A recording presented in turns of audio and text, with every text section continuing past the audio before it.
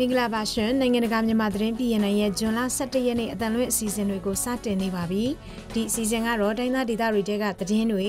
တိုင်းသားတွေရဲ့အတန်နဲ့အမြင်တွေကိုစူးစီးတင်ဆက်ထားတာဖြစ်ပါတယ် BNI Radio အစီအစဉ်တွေကိုည9:15မိနစ်ကနေ9:00ခွဲအထိလိုင်းတူ22မီတာ73.82 MHz မှာထုတ်လွှင့်နေတာဖြစ်ပါတယ်ကျွန်မအမီပါ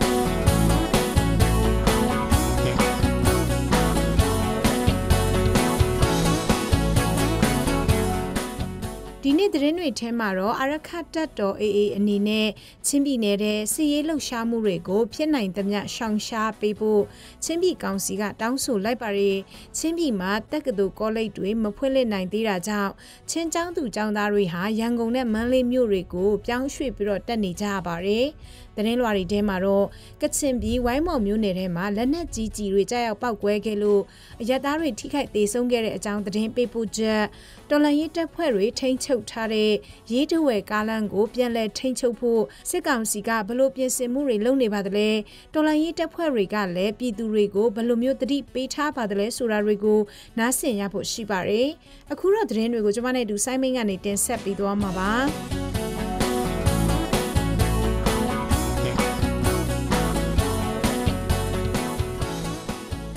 အာရခတ်တပ်တော် ULA အနေနဲ့ချင်းပြည်နယ်အတွင်းစီရေးလှုပ်ရှားမှုတွေစီရေးဖော်ဆောင်တာတွေရှောင်ရှားပေးဖို့နဲ့ ချင်းမျိုးသားနယ်မြေအတွင်းပြည်သူလူထုတဘောထားဆန္ဒမပါဘဲအုပ်ချုပ်ရေးဖော်ဆောင်တာတွေရက်တန့်ပေးဖို့ချင်းပြည်ချင်းလန်းကောင်စီကစွန်လ10ရက်နေ့မှာထုတ်ပြန်ထားပါတယ်ချင်းပြည်အတွင်းအပြစ်မဲ့ချင်းပြည်သူလူထုတွေအပေါ်အာရခတ်တပ်တော် ULA အနေနဲ့အတင်းအဓမ္မတပ်သားစုဆောင်ပြီးစစ်တင်တန်းတင်ယူစေတာအတင်းအကျပ်အုပ်ချုပ်ရေးရန်တရားတွေဖော်ဆောင်တာတိုင်းရင်းသားလူမျိုးနွယ်စုအချင်းချင်းအပြန်လန်လေးစားအတိမပြုမှုကိုလစ်လျူရှုပြီးလူလစွာပညာသင်ကြားခွင့်ပါတာရေးလူလခွင့်တွေကိုတာစီပိတ်ပင်ပြီးအခြေခံလူခွင့်ရေးတွေကိုချိုးဖောက်နေတာတွေအတွက်စိတ်မကောင်းဖြစ်ရတယ်လို့လည်းထုတ်ပြန်ထားပါတယ်အာရခတ်တပ်တော် ULA အနေနဲ့လူခွင့်ရေးချိုးဖောက်တာတွေလှုပ်ဆောင်နေမှုတွေကတိုင်းရင်းသားလူမျိုးနွယ်စုတွေ အချင်းချင်းကြားမလိုလားတဲ့လူမျိုးရေးပဋိပက္ခစီရေးပဋိပက္ခတွေဖြစ်ပေါ်နိုင်တာကြောင့်ရက်တန့်ပေးဖို့တိုက်တွန်းတယ်လို့လည်းချင်းပြည်ချင်းလန်ကောင်စီကထုတ်ပြန်ပါတယ်ချင်းပြည်နယ်ပလဲဝါမြို့နယ်အတွင်းဒေသခံပြည်သူတွေကိုအတရားဓမ္မစစ်တားစုဆောင်းတာတွေမပြုလုပ်ကြောင်းဆွန်လာရှိရနေ့မှာဂျင်ပါခရနဝအကျိမြောက်အာရခတ်တ်တော် ULA သတင်းစာရှင်းလင်းပွဲမှာပြောရေးဆိုခွင့်ရှိသူဦးခိုင်ဒုက္ခကပြောထားပါတယ်ပလဲဝါမြို့နယ်ဟာလုံခြုံစိတ်ချရတဲ့အနေအထားမဟုတ်တာကြောင့်လုံခြုံရေးနဲ့ပြန်လည်ထူထောင်ရေးလုပ်ငန်းတွေကိုဦးစားပေးလှုပ်ဆောင်နေတယ်လို့လည်းအာရခတ်တ်တော် ULA ပြောရေးဆိုခွင့်ရှိသူဦးခိုင်ဒုက္ခကပြောပါတယ် 2021ခုနှစ်နောက်ပိုင်းချင်းကျောင်းသူကျောင်းသားတွေအဓိကတက်နေတဲ့တက္ကသိုလ်ကောလိပ်တွေကျောင်းမဖွင့်လှစ်နိုင်တဲ့အတွက်နိုင်ငံရေးတည်ငြိမ်တဲ့ရန်ကုန်ဘက်ကိုရွှေ့ပြောင်းပြီးတော့ကျောင်းတက်နေရတဲ့သူတွေများလာတယ်လို့ကျောင်းသားမိဘတွေကပြောပါတယ်ကလေးမျိုးအနောက်မြောက်ချင်းတောင်သွားရလမ်းပေါ်မှာရှိတဲ့ကလေးတက္ကသိုလ်မှာဖေဖော်ဝါရီလလောက်ကလေးကတိုက်ပွဲတွေကြောင့်တက္ကသိုလ်ပိတ်ထားခဲ့ရပြီးအခုခါမှာအဲ့ဒီတက္ကသိုလ်ကကျောင်းသူကျောင်းသားတွေဟာတခြားနယ်ကိုပြောင်းပြီးစာသင်ကြားနေရတယ်လို့ဆိုပါတယ် ဒါအပြင်မငိမ့်ချမ်းမှုမတည်ငြိမ်မှုတွေကြောင့်ဟာခါတက္ကသိုလ်ကလည်းဖွင့်လှစ်နိုင်တာမျိုးမရှိသေးဘူးလို့ဟာခါမြို့ခံတွေကပြောပါတယ်။ကျောင်းတွေမဖွင့်နိုင်သေးပေမဲ့2024ခုနှစ်ပညာသင်တဲ့အဝေးသင်အတွက်ကျောင်းအမှတ်ပုံတင်ခြင်းကိုတော့ဒီဇင်ဘာလ26ရက်နေ့ကစတင်ပြီးပထမနှစ်ဒုတိယနှစ်နဲ့အထက်သင်တန်းတွေကိုကျောင်းအနန္တာတွေမေလ31ရက်နေ့အထိလုပ်ခဲ့ကြပါတယ်။ကျောင်းအနန္တရက်ကိုအခုဇွန်လ28ရက်နေ့အထိထပ်ပြီးတော့တိုးထားပေးတယ်လို့လည်းဆိုကြပါတယ်။ အာရခတ်တပ်တော်အေဝင်ရောက်တိုက်ခိုက်မယ်လို့တည်င်းထွက်ပေါ်နေတဲ့တောင်ကုန်းမြို့ကိုစစ်ကောင်စီတပ်ကဒီမနေ့အစောကြီး၃နိုင်ခန့်တုန်းကလက်နက်ကြီးအဆက်မပြတ်ပစ်ခတ်တိုက်ခိုက်ခဲ့ပါတယ်စစ်ကောင်စီတပ်ကစကခငါစစ်ဌာနချုပ်နဲ့ ဗန်းမြောက်တောင်ကနေလက်နက်ကြီးတွေပစ်ခတ်ခဲ့တာဖြစ်ပြီးတောင်ကုတ်ရိုးတောင်ပေါ်ကြောက်တကားကျေးရွာအနီးအနားတွေကိုလမ်းပစ်ခဲ့တာလို့လည်းဆိုပါတယ်တောင်ကုတ်မြို့မှာစီးရိတ်စစ်ငွေ့တန်းလာပေမဲ့ပြည်သူတွေကိုစစ်ကောင်စီတပ်ကမြို့ထဲဘုံခိုခြင်းဒူးခွင့်ကိုပိတ်ပင်တားမြစ်ထားတဲ့အပြင်မြို့ထဲကနေလည်းထွက်ခွင့်မပေးဘဲတားမြစ်ထားလို့လူထုကိုလူသားတိုင်းကာ ဒစခန်တွေအဖြစ်ပြုလုပ်ဖို့ကြိုးစားနေတယ်လို့တောင်ကုတ်မြို့ခံတွေကပြောပါတယ်လက်နက်ကြီးကြားရောက်တဲ့ကြောက်တကားကျေးရွာနဲ့တခွန်ကျေးရွာတို့တွေမှာအင်ချီနေရနီးပါးနေထိုင်ကြပြီးလူရည်တထောင်ခန့်နေထိုင်တဲ့တောင်ပေါ်ကျေးရွာဖြစ်ပါတယ်ထိခိုက်မှုအသေးစိတ်ကိုတော့မသိရသေးပါဘူး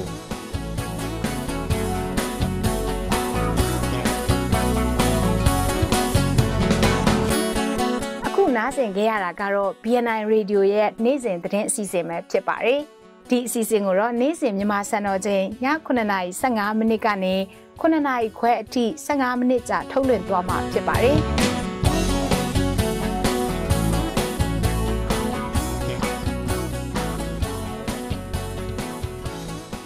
မိုးပြဲပြည်သူ့ကာကွယ်ရေးတပ်ဖွဲ့ဝင်နဲ့စပေးဆောင်ပြည်သူတွေကိုကူညီကယ်ဆယ်ရေးတွေဆောင်ရွက်ပေးနေတဲ့မိုးပြဲလူမှုကယ်ဆယ်ရေးအသင်း MBRT ဟာကိုဝန်ဆောင်မိခင်တွေကလေးမီးဖွားနိုင်ဖို့မွေးခန်းကိုတိုးချက်ဖွင့်လှစ်ထားတယ်လို့ဒေသခံတွေကပြောပါတယ်။မွေးခန်းကိုဖွင့်လှစ်ထားတာကြောင့်တွာလာရေးအဆင်မပြေတဲ့ကိုဝန်ဆောင်မိခင်တွေအတွက်မီးဖွားရမှာအဆင်ပြေစေနိုင်မယ်လို့လည်းဆိုပါတယ်။ပြီးခဲ့တဲ့ဧပြီလမှာစတင်ဖွင့်လှစ်ပြီးတဲ့နောက်တလအတွင်းရင်သွေးငယ်ပေါင်းအယောက်20ကိုမီးဖွားပေးနိုင်ခဲ့တယ်လို့လည်းမိုးပြဲလူမှုကယ်ဆယ်ရေးအသင်းတာဝန်ရှိသူကပြောပါရယ်မိုးပြဲလူမှုကူညီရေးအသင်းအနေနဲ့တခြားသောကျန်းမာရေးအစုအဖွဲ့တွေနဲ့လည်းချိတ်ဆက်ဆောင်ရွက်နေကြတယ်လို့ဆိုပါရယ်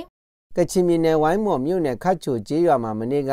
ညပိုင်း၈နာရီလောက်ကလက်နက်ကြီးကြားရောက်ပောက်ကွဲလို့အရက်သားတအူးတေဆုံးပြီး6ဦးတန်ရရှိခဲ့တယ်လို့ဒေသခံတွေကပြောပါတယ် တည်ဆုံခဲ့တဲ့သူဟာအသက်26နှစ်အရွယ်ကိုသားငယ်ဆိုသူဖြစ်ပြီးထိခိုက်ဒဏ်ရာရရှိခဲ့သူတွေကတော့အသက်30ဝန်းကျင်3ဦးနဲ့50ဝန်းကျင်2ဦးတို့ဖြစ်ကြပါတယ်တပ်စခန်းကြီးတွေကိုလက်လွတ်ခဲ့ရတဲ့စစ်ကောင်စီတပ်ကဝိုင်းမော်မြို့ကိုလက်မလွတ်ရေးအတွက်အင်အားဖြစ်တင်းနေတယ်လို့ ERD မြစ်တစ်ဖက်ကမ်းကိုမြစ်ကြီးနားမြို့ကနေလက်နက်ကြီးတွေနဲ့ရန်တမ်းပစ်ခတ်နေတယ်လို့လည်းဒေသခံတွေကပြောပါတယ်ပြီးခဲ့တဲ့ဆွန်လာရှိရနေ့မနေ့ပိုင်းတုန်းကလည်းလက်နက်ကြီး3လုံးခတ်ချိုကျေးရွာကဘုံကြီးကျောင်းနဲ့နေအိမ်တစ်လုံးပေါ်ကြားရောက်ပောက်ကွဲခဲ့ပြီးကားတစ်စီးနဲ့နေအိမ်ခေါင်မိုးတွေပျက်စီးသွားခဲ့ရပါတယ်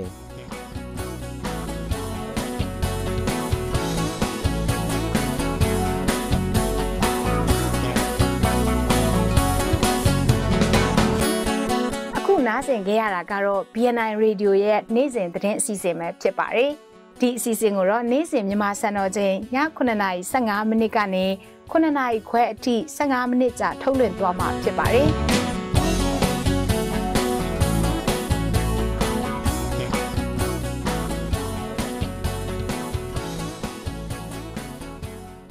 ဆက်ပြီးသတင်းလွှာတွေကိုတင်ဆက်ပြီးသွားမှာပါကချင်ပြည်ဝိုင်းမော်မြို့နယ်ခတ်ချိုရွာမှာမနေ့ကညပိုင်း၈နာရီလောက်ကလက်နက်ကြီးကြီးကြားရောက်ပောက်ကွဲခဲ့လို့အရက်သားတယောက်သေဆုံးပြီး6ယောက်ဒဏ်ရာရရှိခဲ့တယ်လို့ဒေသခံတွေကပြောပါတယ်အသေးစိတ်ကိုတော့ကချင်သတင်းဌာနကအမိုးအပြပြထားပါတယ်သေဆုံးခဲ့တဲ့သူကအသက်26နှစ်အရွယ်ကိုသားငယ်ဆိုသူဖြစ်ပြီးတော့လက်နက်ကြီးထိမှန်ပြီးတဲ့နောက်ဝိုင်းမော်ဆေးရုံရောက်မှသေဆုံးခဲ့ရတာဖြစ်တယ်လို့ဒေသခံတယောက်ကပြောပါတယ်။အဲတော့မင်းညချက်ချင်းပဲလေဟို ဖြစ်တာနဲ့ကို ၄ ယောက်ကျတော့ဟိုသုံးသိန်းနဲ့ ချက်ချင်းပို့တာပေါ့။ဒါပေမဲ့ အဲ၄ယောက်ထဲက တယောက်ကျ ဆေးရုံရောက်တာနဲ့ဟိုဆုံးသွားတယ်လို့ ပြောတယ်။အဲလက်နက်ကြီးကြတာတော့ လူ9ယောက် ထိသွားတယ်လို့ ပြောတယ်။တယောက်ကျတော့ဟိုဆုံးသွားတာပေါ့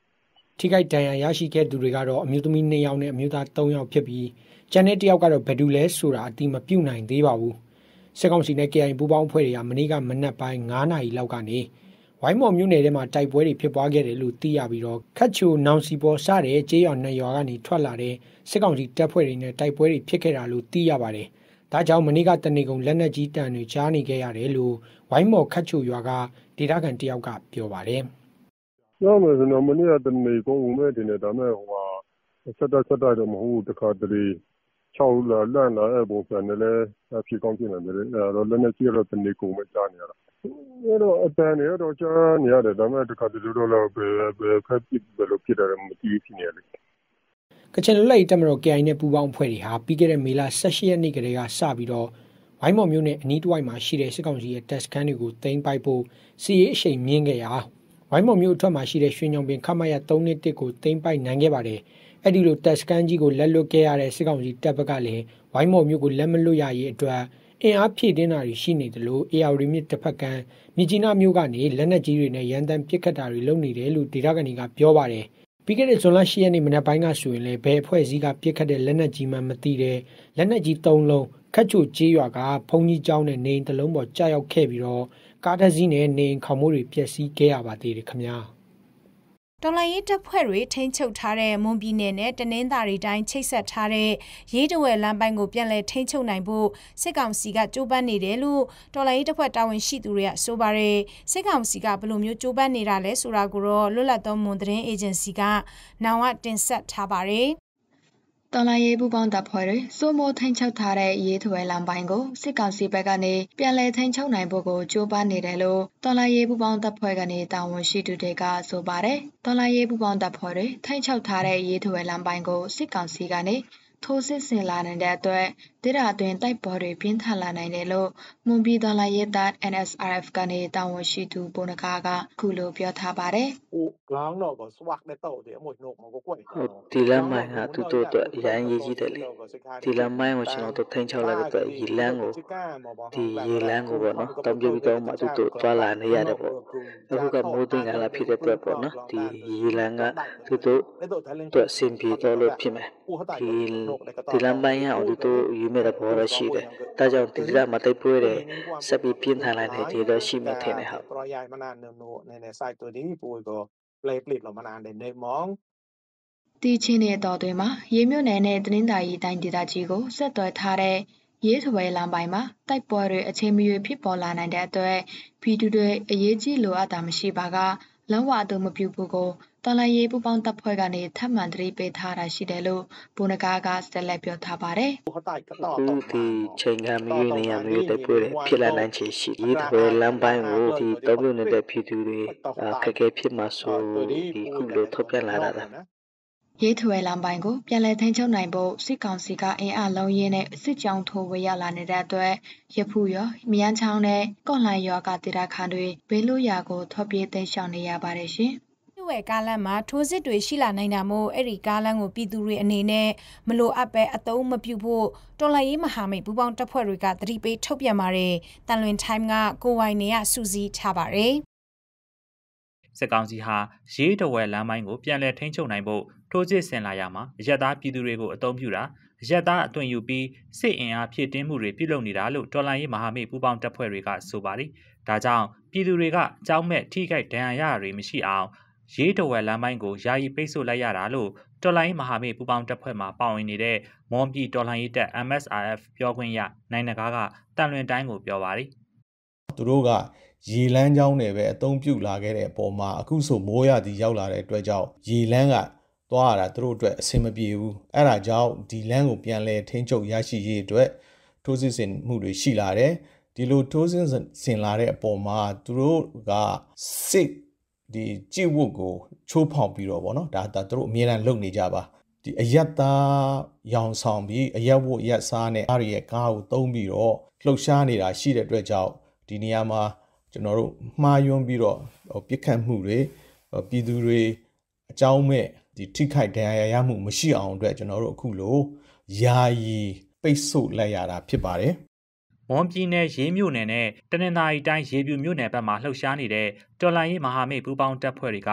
ရေးတဝယ်ပြည်ထောင်စုလမ်းမကြီးကိုပြီးခဲ့တဲ့နှစ်ကုန်ပိုင်းကစပြီးဒီကနေ့အထိအပြည့်အဝထိန်းချုပ်ထားနိုင်ခဲ့တာပါစစ်ကောင်စီအနေနဲ့ရေးတဝယ်လမ်းကြောင်းကိုလက်လွတ်ခဲ့ရတဲ့အပေါ်စစ်စင်ရေးနဲ့တည်ယူပို့ဆောင်ရေးမှာခက်ခဲရှိသွားခဲ့တဲ့အတွက်အဲ့ဒီလမ်းကြောင်းကိုပြန်လည်ထိန်းချုပ်နိုင်ဖို့ဇွန်၈ရက်နေ့ကစပြီးအင်အားအလုံးရင်းနဲ့စစ်ကြောင်းထိုးလာတယ်လို့နိုင်နဂါကပြောပါသည် ဒါအပြင်စစ်ကောင်စီတပ်ဟာကလျောင်ဘက်ကနေမှတ်လုံကားတွေရက်သားကားတွေကြောက်တဲ့ကားကြီးတွေနဲ့အင်အားထပ်ဖြည့်လာတာရှိတဲ့အတွက်ရေးတဝဲဒေသတဝိုက်မှာအချိန်နေရာမရွေးတိုက်ပွဲတွေပြင်းထန်စွာဖြစ်ပွားလာနိုင်တယ်လို့ဆိုပါတယ်။တော်လိုင်းမဟာမိတ်ပူးပေါင်းတပ်ဖွဲ့တွေအနေနဲ့ရေးတဝဲလမ်းပိုင်းမှာဖြန့်ကျက်ထားတဲ့တပ်ရင်းတပ်ဖွဲ့တွေကစစ်ရေးအရှိန်ဟုန်မြင့်တင်ပြီးစစ်ကောင်စီကိုအပြင်းထန်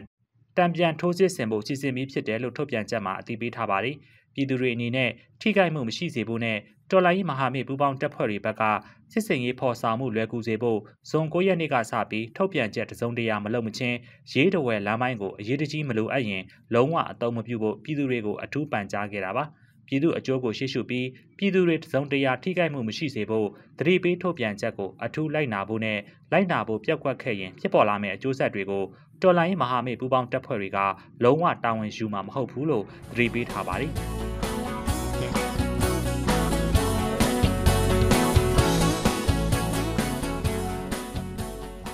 အခုနားဆင်ကြရတာကတော့ BNI Radio ရဲ့နေ့စဉ်သတင်းအစီအစဉ်ပဲဖြစ်ပါတယ်။ဒီအစီအစဉ်ကိုတော့နေ့စဉ်မြန်မာစံတော်ချိန်ည9:15မိနစ်ကနေ9:00ခွဲအထိ15မိနစ်ကြာထုတ်လွှင့်သွားမှာဖြစ်ပါတယ်။နားဆင်ပေးကြတဲ့အတွက်ကျေးဇူးတင်ပါတယ်ရှင်။